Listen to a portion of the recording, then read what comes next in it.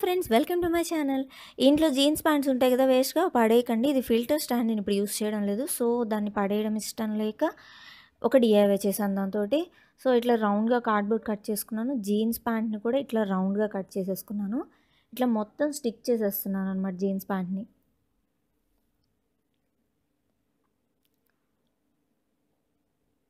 So ఇట్లా cut చేసుకున్న తర్వాత ఇప్పుడు బ్యాంగిల్స్ కావాలండి. మెటల్ బ్యాంగిల్స్ తీసుకున్నాను. అవైతే కొంచెం స్ట్రాంగ్గా ఉంటాయి కాబట్టి జీన్స్ ప్యాంట్ని ఇట్లా రౌండ్గా కట్ చేసుకున్నాను అనమాట ఇట్లా వీడియోలో చూపిస్తున్నట్టు. ఇలా స్టిక్ చేసేసాను.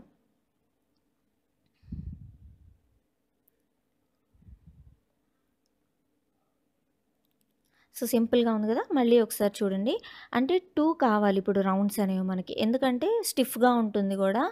మనం బాస్కెట్ ప్లేస్ చేసేటప్పుడు అంటే రౌండ్గా ప్లేస్ చేసేటప్పుడు స్టిఫ్గా కూడా ఉంటుంది అనమాట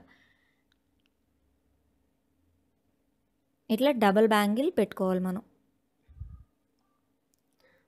సో ఇప్పుడు ఫస్ట్ది సెకండ్ది రెండు కలిపి స్టిక్ చేసేసి గ్లూగన్ హెల్ప్ తోటి బాస్కెట్కి ప్లేస్ చేసేస్తాం. ఈ ఎక్స్ట్రాదంతా కట్ చేసేసుకుంటాం అనమాట జీన్స్ ఏదైతే బయట వచ్చిందో సో దీన్ని ఇప్పుడు ఇట్లా బాస్కెట్కి స్టిక్ చేసుకుంటూ వెళ్ళిపోవడమే.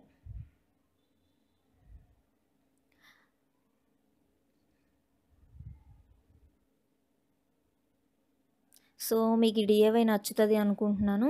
నచ్చితే కనుక వెంటనే సబ్స్క్రైబ్ చేయండి షేర్ చేయండి అలాగే లైక్ చేయడం మాత్రం అసలు మర్చిపోద్దు Bye-bye.